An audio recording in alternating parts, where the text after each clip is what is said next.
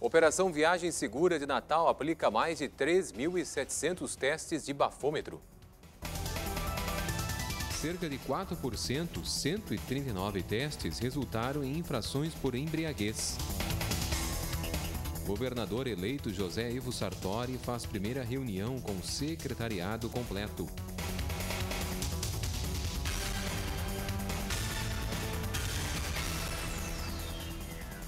Boa tarde. 22 pessoas morreram nas estradas e aconteceram 182 acidentes durante o feriadão de Natal. A Operação Viagem Segura fiscalizou mais de 100 mil veículos, com a realização de quase 4 mil testes do bafômetro. Em 4% dos casos ocorreu infração por embriaguez, resultando na condução de 80 motoristas até a delegacia por crime de trânsito. No mesmo período do ano passado, o número de infrações foi maior e representou até 11% dos testes realizados. Para o ano novo, a expectativa da Concep é de que 115 mil veículos trafeguem pela Freeway rumo às praias gaúchas e catarinenses. Entre hoje e amanhã, 82 mil veículos devem deixar a capital. Já o movimento dentro da cidade voltou ao normal depois do feriado prolongado.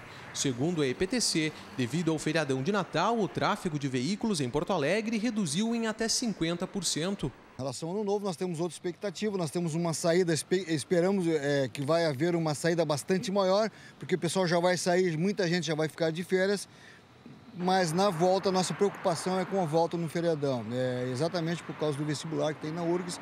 Então, nós temos uma situação na Avenida Bento Gonçalves, onde nós temos um fluxo bastante intenso em relação ao vestibular, que o pessoal vai se deslocar ali para o campus da URGS e também nesse momento nós temos também o pessoal voltando da praia no feriadão. Então nós pedimos que o pessoal que vai fazer o vestibular que venha com antecedência, venha no dia anterior né, a Porto Alegre, já no sábado, para não haver atropelos e correrias de última hora. Na estação rodoviária da capital, a expectativa é de aumento no fluxo de passageiros para o ano novo. Estima-se que mais de 70 mil pessoas viajem de ônibus entre terça e quarta-feira. As empresas ofertaram 600 horários extras para o feriadão. É preciso ficar atento, porque não há mais passagens para alguns destinos, casos de Pinhal e Cidreira. Na manhã desta segunda-feira, na sede da Procerx, ocorreu a primeira reunião do secretariado do governo de José Ivo Sartori. No encontro, os secretários receberam informações adicionais aos relatórios já elaborados pela equipe técnica do novo governo. 18 dos 19 secretários participaram da reunião, a primeira desde que a equipe de governo ficou completa. Apenas o titular da pasta de segurança, Vantuir Jacini, não está presente. Já entre os participantes está o novo secretário de Turismo, Esporte e Lazer, Juvir Costela, anunciado sexta-feira. O governador eleito, José Ivo Sartori, fez a abertura do encontro e expôs o plano geral de governo.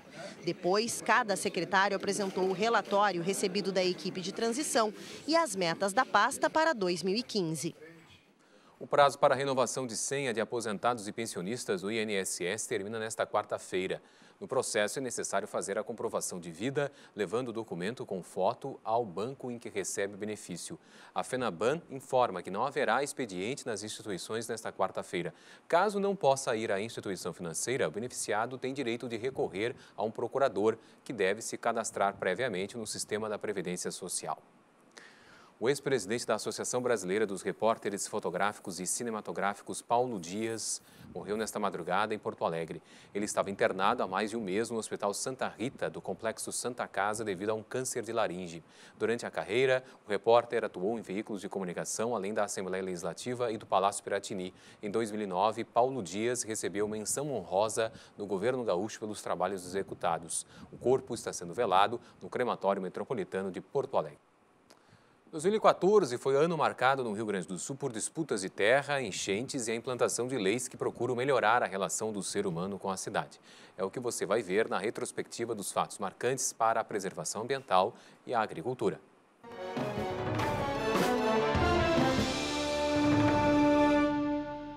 Em abril, um conflito por terras entre índios e agricultores em Faxinalzinho, na região norte do estado, levou a duas mortes. Os irmãos Anderson e Alcemar de Souza teriam sido assassinados por um grupo de indígenas.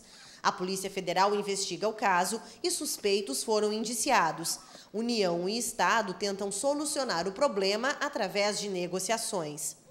No mesmo mês, Porto Alegre iniciou uma nova etapa contra a sujeira e a degradação da natureza. A prefeitura passou a cobrar multas severas para atitudes como jogar lixo no chão e descartar de maneira irregular grandes objetos. As penalidades vão de R$ 263,80 a mais de R$ 4.200.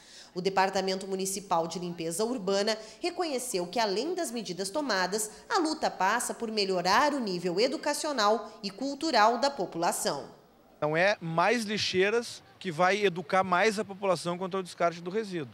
Mais lixeiras significa mais opções de descarte, né? e não mais educação, que isso está no comportamento de cada um. O clima no inverno, entre junho e julho, aumentou os sinais de que a sociedade precisa refletir sobre como transforma a natureza. No auge da estação, choveu quase três vezes o normal para a época e em todo o Rio Grande do Sul. Ocorreram enchentes na região do rio Gravataí e na fronteira com a Argentina. A Defesa Civil se esforçou para atenuar as consequências e encerrou um longo ciclo para quem foi pioneiro na defesa de uma relação mais racional da humanidade com o meio ambiente. Em abril, com 91 anos, a vida do fundador da Agapan, Augusto César Carneiro, chegou ao fim. O companheiro na causa de José Lutzenberger, na década de 1970, ainda escrevia artigos e participava de uma feira ecológica. O final do ano é uma época que estimula a vida comunitária. Os moradores do Castelo, bairro localizado na Restinga, tiveram a oportunidade de trocar material reciclável por alimentos. Foi a segunda edição do projeto Troca Solidária. Os postos de troca são montados em comunidades onde são registrados muitos focos de depósito irregular de lixo. Como líder comunitária, Nídia conhece bem os problemas provocados pelo acúmulo de resíduos nas ruas. A última chuva deu um problema seríssimo, que nós temos um riacho aqui em cima. Então, o que, aconteceu? O lixo, do foco do lixo, caiu para dentro do riacho e imundou as casas. Né? Teve uma senhora que perdeu tudo. Então, com mais força ainda, a gente veio para a comunidade o que o lixo faz. O lixo é um mal. Né? É um mal que pode se transformar num benefício para a comunidade. O Troca Solidária pretende mudar esta realidade, incentivando os moradores a fazer a separação correta dos materiais recicláveis. A gente não prega que os moradores saiam às ruas para catar, né? A gente só aceita aqueles resíduos que são oriundos do lar, né? Segregados em casa. Para isso, a cada troca solidária que a gente elabora, nós fizemos um curso de capacitação cinco dias antes para demonstrar aqueles, através do SASA, do nosso setor socioambiental, para demonstrar aqueles moradores, aquela população, a maneira correta de, se, de distribuir os seus resíduos, né? E quais os resíduos eles devem distribuir e vir receber o troca solidária. Com o troca-troca, as ruas ficam mais limpas e as mesas mais fartas. A Miriam está trazendo a salada feita com hortifruti granjeiros que a sua família acabou de receber na troca solidária. Carlos Alberto, quantos foram os quilos de lixo reciclável que você trocou por esta salada? 4,5 kg. E eram 4,5 kg que estavam aqui no seu pátio? Sim, daí estava, como a gente a gente bebe, gosta de beber uma cervejinha aos final de semana, a gente ajunta, né? Aí o seu Paulo da prefeitura, que eu já conheço há vários anos, veio fazer o convite para a gente ir ali trocar. Dona Ana Maria também encheu a geladeira. Trocou 18 quilos de lixo por 4,5 quilos de hortaliças. Eu sei que eu vim pelo caminho e vim juntando bastante coisa, garrafa. Acho que uns 3 quilos foi da rua. Mas aí o carro não cabia mais. Se tivesse, eu ia levar tudo. O Troca Solidária ainda é um projeto piloto do DMLU, inspirado em ações realizadas em Caxias do Sul e Maringá, no Paraná. Estão previstas mais duas edições para os meses de janeiro e fevereiro. Craques do Brasil e de outros países latino-americanos participaram de um jogo de futebol beneficente no sábado, no Beira-Rio. Organizado pelo Colorado da Alessandro, o lance de craque levou 35 mil pessoas ao estádio. Gremista e colorado, assim, um dia diferente para o futebol gaúcho e para esses meninos e meninas. Com tantos craques em campo, a torcida parece reviver a emoção de uma Copa do Mundo no Beira Rio. Mas os nomes dos times, Esperança e Solidariedade, dão o rumo certo para esse amistoso, organizado pelo jogador D'Alessandro. Esta é a partida beneficente que ocorre aqui no estádio Beira Rio, em Porto Alegre. Os craques conseguiram atrair um ótimo público e, principalmente, renda destinada a instituições que trabalham com crianças e adolescentes carentes. 35 mil pessoas prestigiam o amistoso.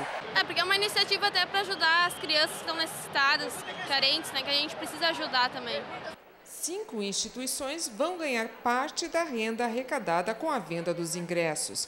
Essa entidade ajuda mais de 500 crianças na Restinga, um dos bairros mais populosos da capital. Ver o estádio Beira Rio cheio, meias férias assim, isso aí é um presente aí para aqueles que organizaram, somente para o Alessandro, né, e para essas crianças que vão ser beneficiadas. O pessoal veio no estádio, é a coisa mais importante, mais linda, e que isso aqui seja uma festa, eu acho que não tem preço. Placar final: 5 para o time Esperança, 3 para o Solidariedade. Ou melhor, nota 10 para a torcida e os craques. Né, Alessandro? 35 mil pessoas hoje ajudam a muita gente que, que necessita neste final de ano, neste 2015. Agora que muito contente.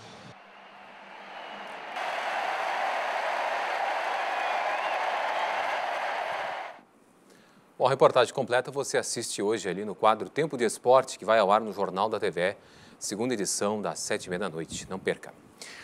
A seguir, você fica com o programa Estação Cultura. Mais informações à tarde no TVE Notícias e depois no Jornal da TVE, segunda edição, às sete e meia da noite. Voltamos amanhã, meio de 30. Até lá.